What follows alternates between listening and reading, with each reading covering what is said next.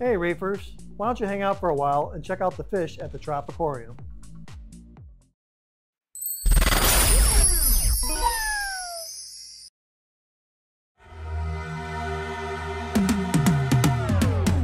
Hey, what's up reefers? I'm Reefer Matt.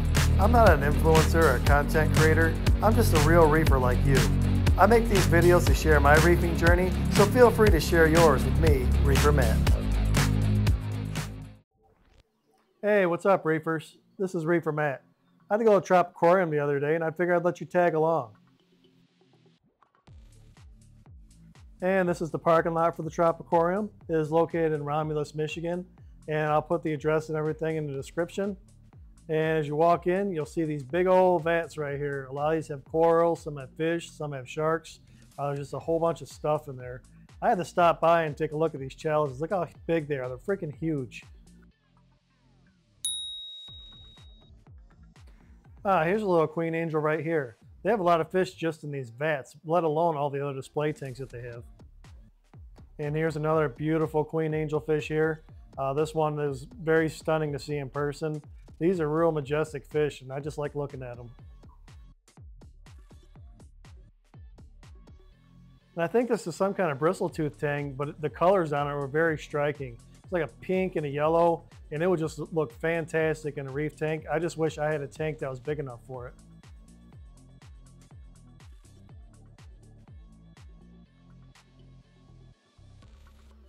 There's one thing at the Trop they don't have a shortage of, and that's clownfish. They have just about every morph you can think of. Check these guys out.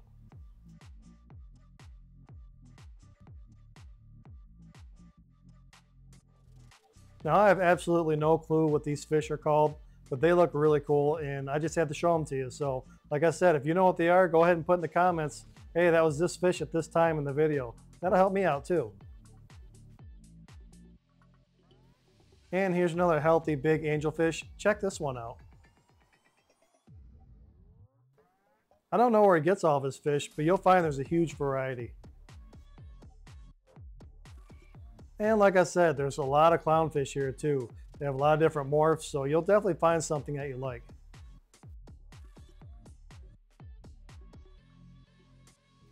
And when I stopped in, Ray, the owner, showed me the Stars and Stripes puffers. I don't know if you guys watch the channel, but you should know that I love puffers, and I just wish I had a tank big enough because I would take them both home. They were just awesome.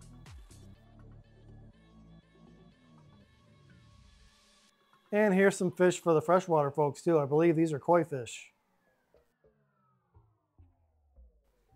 And it's pretty neat how this one aquarium was cascading into the other one like a little waterfall. And here's another juvenile angelfish. I'm really not too hip on the different markings on them. This one might be a Korean angelfish, but I'm not sure. But there's a little skunk clown back there, and those guys would be a good addition to any reef tank.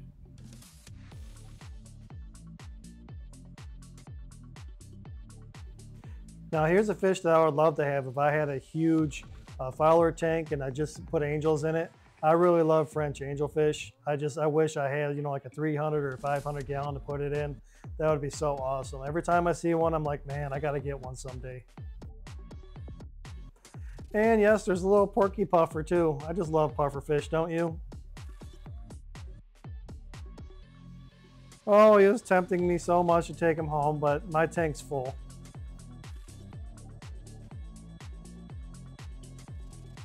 And it's hard to explain exactly how many tanks are in this place. I really don't know, but there is a lot.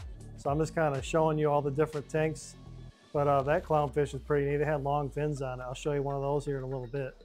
But uh, here's all the tanks as I'm walking down the one aisle. And they're just, this is just one room. There's just tank after tank after tank, all full of fish.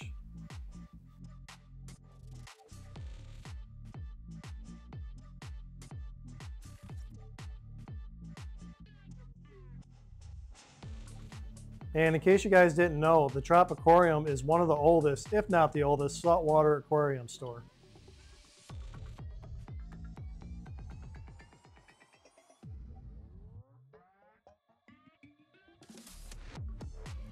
And then I happened to look and I seen these Banggais here and I lost my Banggai a while ago and I'm like, oh, I need to get one. And then I was like, oh, they're not for sale just yet. So hopefully uh, when he breeds some out, I'll be looking to get some of these.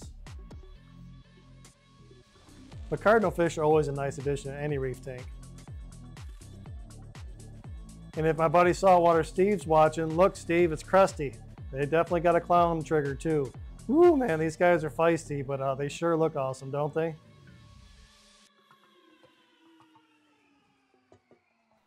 And there's a burrfish. This is where I got my burrfish butthead too.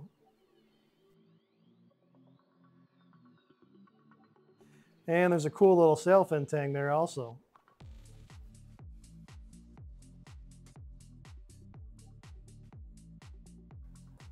Now this fish reminds me of my first ever reef tank that I had back in 2005.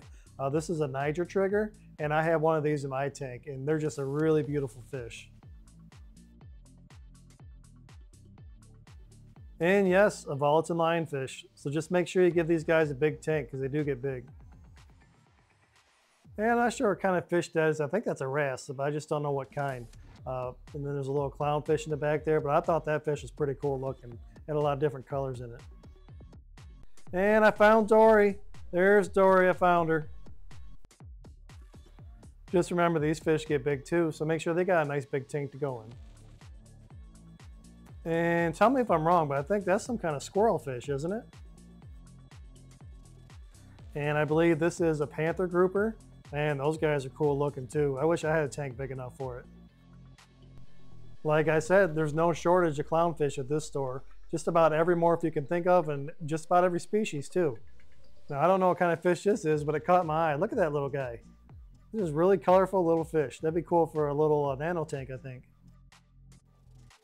And I believe that's another wrasse there. I just don't know the name of it. Uh, let me know in the comments if you know. And like at the beginning of the video, there's that hawkfish just chilling. I wish I had one of these just sitting around and just looking at me, just sitting there watching me more than I was watching him.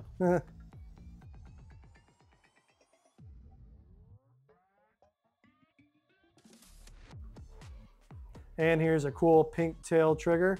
Those are the more docile triggers, so those will probably good for a reef tank too. I'm not sure what this fish is in the front, but I believe the one in the back is a Scopas tang.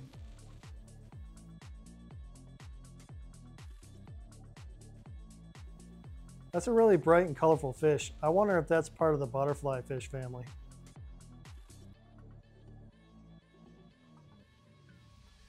And here's a maroon clown. These guys do get feisty, but they do pretty good in their own tank with an anemone. And here's some other cool clownfish. They almost look like Clarkii clowns, but I'm not sure.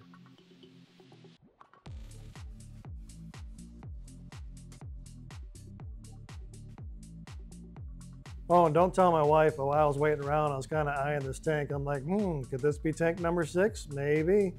Oh my god. Game over. And here's a cool bicolor angelfish. I had one of these in my first tank too. I just call them a U of M fish for University of Michigan.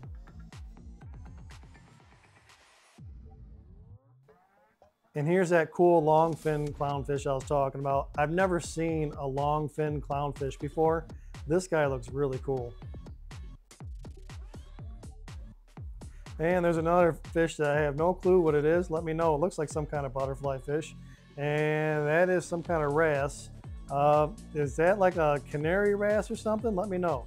But uh, that's a cool wrasse too. And uh-oh, Finn, there's your long lost cousin. That's a little baby emperor angel. Well, that'll do it for this video. I hope you guys had fun checking out the fish at the Tropicorium. I'm Reefer Matt. Thank you for watching and happy reefing.